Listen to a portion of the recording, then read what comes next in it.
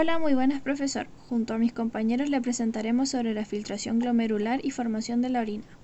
Primero que nada, estructuralmente hablando, los riñones a grandes rasgos se dividen en la corteza, que es la capa más superficial, y luego nos encontramos con la médula, que está compuesta por pirámides que desembocan en cálices hasta llegar a la pelvis renal, que después se denomina uréter.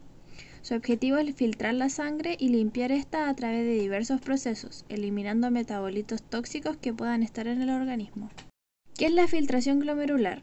El riñón está compuesto por millones de nefronas, las cuales tienen una cápsula que rodea al glomérulo que permite la filtración de la sangre por difusión simple. A esta le sigue la reabsorción, secreción y excreción de las sustancias filtradas, obteniendo lo que conocemos como la orina. La sangre llega por la arteriola aferente y se va por la eferente pasando por capilares peritubulares y finalmente la vena renal. Actividad 3. Efectos combinados. En esta actividad se observaron los efectos de cambios en el diámetro de la arteriola y en la presión de la filtración glomerular. A modo de control se obtuvieron los resultados de la tabla. ¿Qué sucede con la filtración glomerular y el volumen de la orina si reducimos la presión? Como se ve en la tabla, la presión glomerular es menor, por lo que la tasa de filtración también disminuye, lo que termina en un descenso del volumen de la orina, pues menos cosas están siendo filtradas. ¿Cómo se podría ajustar el radio de las arteriolas para compensar el efecto de la reducción de presión? Si nosotros aumentamos el radio de la arteriola aferente, podemos observar cómo es que los valores de la tasa de filtración y la presión glomerular aumentan a niveles esperados. Lo mismo sucede si disminuimos el radio de la arteriola eferente. Los cambios que se observarán en el funcionamiento de la nefrona será que no habrá producción de orina. Esto debido a que no existe filtración glomerular, ya que la válvula se encuentra cerrada. Y en este caso, el riñón no será funcional, ya que la principal función del riñón es la filtración de los desechos. Por tanto, no podrá cumplir este proceso sin hacer filtración glomerular. Los principales ingredientes que se necesitan eliminar de la sangre serán la urea y la creatinina.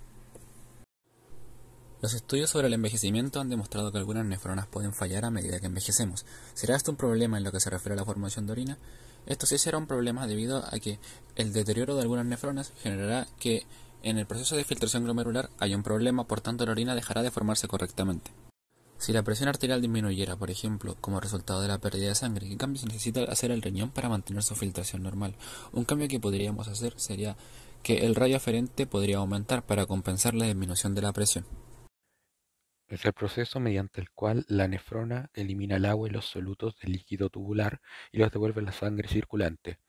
Sin la reabsorción, excretaríamos los soludos y el agua que necesita nuestro organismo. Todos los desechos o toxinas que no se necesiten en el organismo se convertirán en orina. Con todo esto explicado, en esta actividad analizaremos el efecto del gradiente o la concentración de solutos sobre la concentración de orina al hacer la filtración glomerular. En esta primera pregunta nos dice cómo varió la concentración de solutos de la orina a medida que aumentaba el gradiente de concentración del fluido intersticial pues fue creciendo gradualmente. Si al inicio con 300 miliosmoles había 15.59 de concentración de potasio, pues al haber 1200 miliosmoles hay 62.37 de concentración de potasio. En esta pregunta nos dice, ¿qué le sucedió al volumen de orina al aumentar el gradiente de concentración? Pues fue disminuyendo, esto ocurre porque como hay más gradiente de concentración en el fluido intersticial, entonces es necesario reabsorber más cantidad de agua por el túbulo colector. Esto ocasiona un menor volumen de orina. Esta pregunta nos dice, ¿qué le pasa a la orina al aumentar el gradiente de concentración de solutos? Lo que ocurre es que hace que haya más concentración de toxinas para que se eliminen. Entonces, como se observa, hay menor cantidad de agua y más concentración de solutos o toxinas.